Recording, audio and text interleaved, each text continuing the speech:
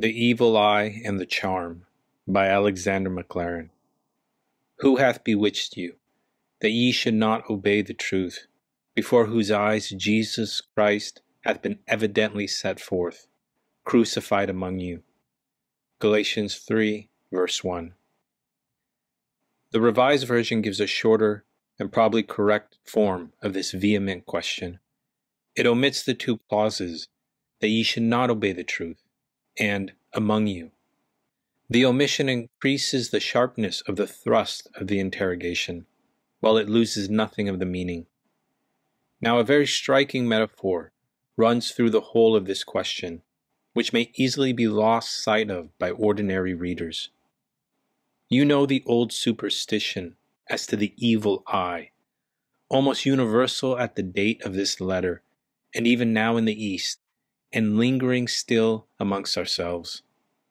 Certain persons were supposed to have the power, by a look, to work mischief, and by fixing the gaze of their victims, to suck the very life out of them.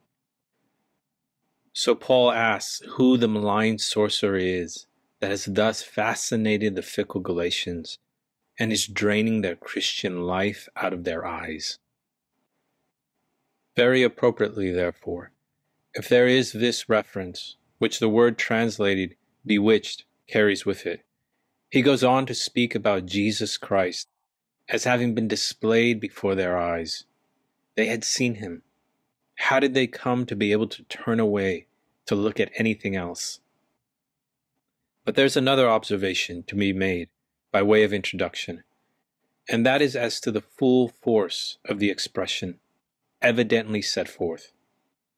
The word employed, as commentators tell us, is that which is used for the display of official proclamations or public notices in some conspicuous place, as the forum or the market, that the citizens might read.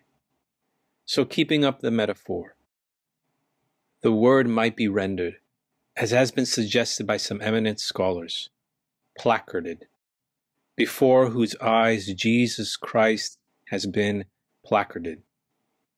The expression has acquired somewhat ignoble associations from modern advertising, but that is no reason why we should lose sight of its force. So then, Paul says, In my preaching, Christ was conspicuously set forth. It is like some inexplicable enchantment that having seen him, you should turn away to gaze on others. It is insanity which invokes wonder as well as sin which deserves rebuke, and the fiery question of my text conveys both. 1. Keeping to the metaphor, I note first the placard which Paul has displayed. Jesus Christ crucified has been conspicuously set forth before you, he says to the Galatians. Now he is referring, of course, to his own work of preaching the gospel to them at the beginning. And the vivid metaphor suggests very strikingly two things. We see in it the apostle's notion of what he had to do. His had been a very humble office, simply to hang up a proclamation. The one virtue of a proclamation is that it should be brief and plain. It must be authoritative. It must be urgent. It must be writ large. It must be easily intelligible and he that makes it public has nothing to do except to fasten it up and make sure that it is legible. If I might venture into modern phraseology, what Paul means is that he was neither more nor less than a bill sticker, that he went out with the placards and fastened them up. Ah, if we ministers universally acted up to the implications of this metaphor, do you not think the pulpit would be more frequently a center of power than it is today? And if instead of presenting our own ingenuities and speculations, we were to realize the fact that we have to hide ourselves behind the broad sheet that we fasten up, there would be a new breath over many a moribund church, and we should hear less of the often warrantable sarcasms about the inefficiency of the modern pulpit.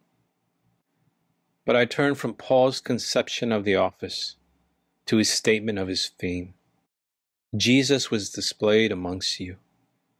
If I might vary the metaphor a little, the placard that Paul fastened up was like those that modern advertising ingenuity displays upon all our walls. It was a picture placard, and on it was portrayed one sole figure Jesus, the person. Christianity is Christ, and Christ is Christianity. And wherever there is a pulpit or a book which deals rather with doctrines than with Him, who is the fountain and quarry of all doctrine, there is divergence from the primitive form of the gospel. I know, of course, that doctrines which are only formal and orderly statements of principles involved in the facts must flow from the proclamation of the person Christ. I am not such a fool as to run amuck against theology, as some people in this day do. But what I wish to insist upon is that the first form of Christianity is not a theory, but a history, and that the revelation of God is the biography of a man. We must begin with the person, Christ, and preach him. Would that all our preachers and all professing Christians in their own personal religious life had grasped this that since Christianity is not first a philosophy, but a history, and its center not an ordered sequence of doctrines, but a living person. The act that makes a man possessor of Christianity is not the intellectual process of assimilating certain truths and accepting them, but the moral process of clinging with trust and love to the person Jesus. But further, if any of you consult the original, you will see that the order of the sentence is such as to throw a great weight of emphasis on that last word, crucified. It is not merely a person that is portrayed on the placard, but it is that person upon the cross. Our brethren, Paul himself puts his finger in the words of my text on what in his conception was the throbbing heart of all his message the vital point from which all its power and all the gleam of its benediction poured out upon humanity Christ crucified. If the placard is a picture of Christ in other attitudes and in other aspects, without the picture of Him crucified, it is an imperfect representation of the gospel that Paul preached and that Christ was. 2. Now think secondly of the fascinators that draw away the eyes. Paul's question is not one of ignorance, but it is a rhetorical way of rebuking and of expressing wonder. He knew, and the Galatians knew, well enough who it was that had bewitched them. The whole letter is a polemic work in fire, and not in frost, as some argumentation is against a very well marked class of teachers, that is, those emissaries of Judaism who had crept into the church and took it as their special function to dog Paul's steps amongst the heathen communities that he had gathered together through faith in Christ and used every means to upset his work. I cannot but pause for a moment upon this original reference of my text because it is very relevant to the present condition of things amongst us. These men whom Paul is fighting, as if he were in a saw pit with them, in this letter, what was their teaching? This they did not deny that Jesus was the Christ. They did not deny that faith knit a man to him. But what they said was that the observance of the external rites of a Judaism was necessary in order to enter into the church and to salvation. They did not, in their own estimation, detract from Christ, but they added to him. And Paul says that to add is to detract. To say that anything is necessary except faith in Jesus Christ's finished work is to deny that that finished work and faith in it are the means of salvation. and the whole evangelical system crumbles into nothingness if once you admit that. Now, is there anybody today that is saying the same things, with variations consequent upon change of external conditions? Are there no people within the limits of the Christian church that are reiterating the old Jewish notion that external ceremonies, baptism, and the Lord's Supper are necessary to salvation and to connection with the Christian church? And is it not true now, as it was then, that though they do not avowedly detract, they so represent these external rites as to detract from the sole necessity of faith in the perfected work of Jesus Christ. The center is shifted from personal union with a personal Savior by a personal faith to participation in external ordinances. And I venture to think that the lava stream, which in this epistle to the Galatians Paul pours on the Judaizers of his day, needs but a little deflection to pour its hot current over and to consume the sacramentarian theories of this day. O foolish Galatians, who hath bewitched you? Is it not like some malignant sorcery that after the evangelical revival of the last century and the earlier part of this, there should spring up again this old, old error and darken the simplicity of the gospel teaching that Christ's work, apprehended by faith, without anything else, is the means and the only means of salvation. But I need not spend time upon that original application. Let us rather come more closely to our own individual lives and their weaknesses. It is a strange thing so strange that if one did not know it by one's own self, one would be scarcely disposed to believe it possible. That a man who has tasted the good word of God and the powers of the world to come, and has known Jesus Christ as Savior and friend, should decline from him and turn to anything besides. And yet, strange and sad, and like some enchantment as it is, it is the experience at times, and in a measure, of us all.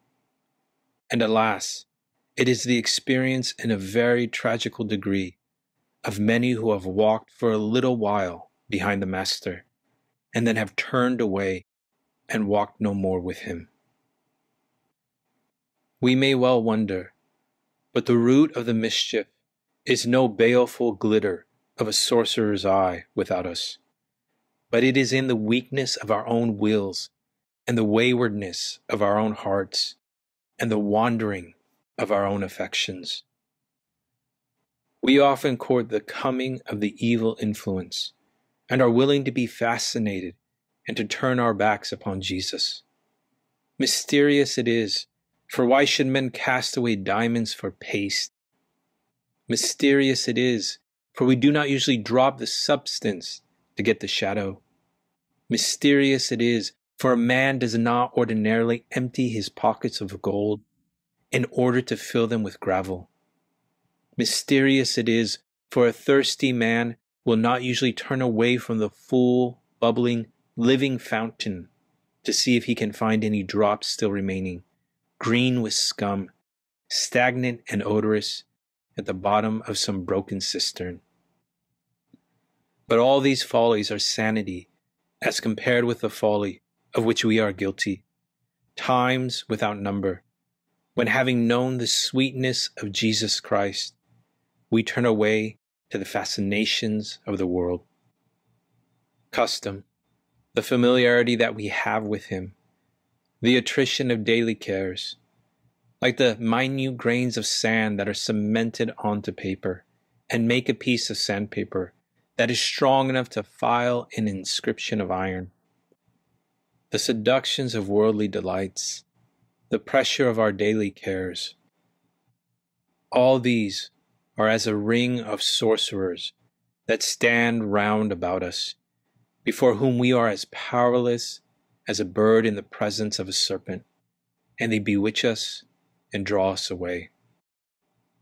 The sad fact has been verified over and over again on a large scale in the history of the Church.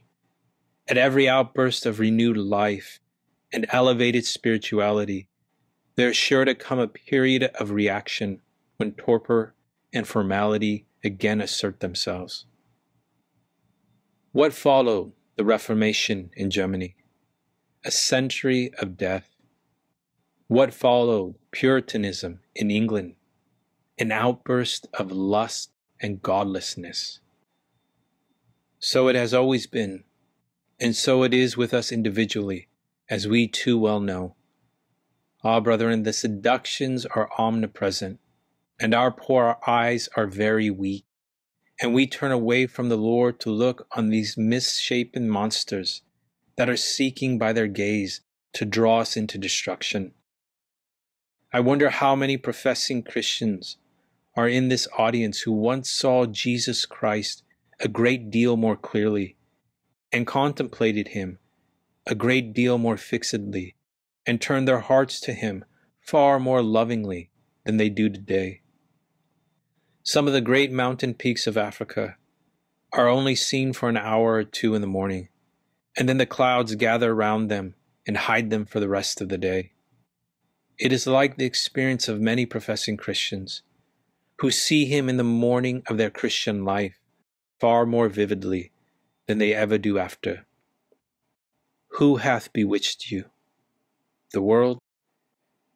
But the arch sorcerer sits safe in our own hearts. 3. Lastly, keeping to the metaphor, let me suggest, although my text does not touch upon it, the amulet. One has seen fond mothers in Egypt and Palestine who hang on their babies' necks charms to shield them from the influence of the evil eye. And there's a charm that we may wear if we will, which will keep us safe. There's no fascination in the evil eye if you do not look at it. The one object that the sorcerer has is to withdraw our gaze from Christ. It is not illogical to say that the way to defeat the object is to keep our gaze fixed on Christ. If you do not look at the baleful glitter of the evil eye, it will exercise no power over you. And if you will steadfastly look at Him, then, and only then, you will not look at it like Ulysses in the legend, bandage the eyes and put wax in the ears, if you would neither be tempted by hearing the songs nor by seeing the fair forms of the sirens on their island. To look fixedly at Jesus Christ, and with the resolve never to turn away from him, is the only safety against these tempting delights around us. But, brethren, it is the crucified Christ, looking to whom we are safe amidst all seductions and snares. I doubt whether Christ, who did not die for men, has power enough over men's hearts and minds to draw them to himself. The cords which bind us to him are the assurance of his dying love which has conquered us. If only we will, day by day and moment by moment, as we pass through the duties and distractions, the temptations and the trials of this present life, by an act of will and thought turn ourselves to Him, then all the glamour of false attractiveness will disappear from the temptations around us. And we shall see that the sirens, for all their fair forms, end in loathly fishes' tails and sit amidst dead men's bones. Brethren, looking off unto Jesus is the secret of triumph over the fascinations of the world. And if we will habitually so look, then the sweetness that we shall experience will destroy all the seducing power of lesser and earthly sweetness, and the blessed light of the sun will dim and all but extinguish the deceitful gleams that tempt us into the swamps where we shall be drowned. Turn away then from these things, cleave to Jesus Christ. And though in ourselves we may be as weak as a hummingbird before a snake, or a rabbit before a tiger, He will give us strength, and the light of his face shining down upon us will fix our eyes and make us insensible to the fascinations of the sorcerers. So we shall not need to dread the question, Who hath bewitched you? But ourselves challenge the utmost might of the fascinators with the triumphant question, Who shall separate us from the love of Christ? Help us, O Lord, we beseech thee, to live near thee. Turn away our eyes from beholding vanity, and enable us to set the Lord always before us, that we be not moved.